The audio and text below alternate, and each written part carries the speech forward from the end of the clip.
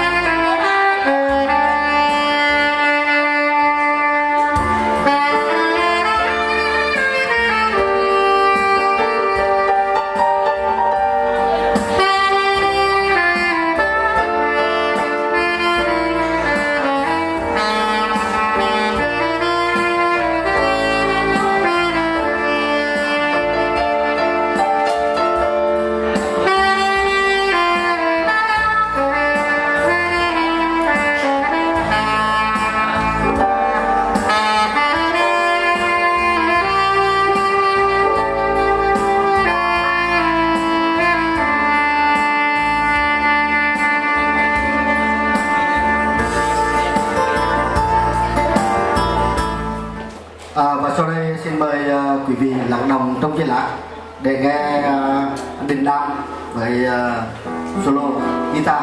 Xin mời quý vị lắng nghe.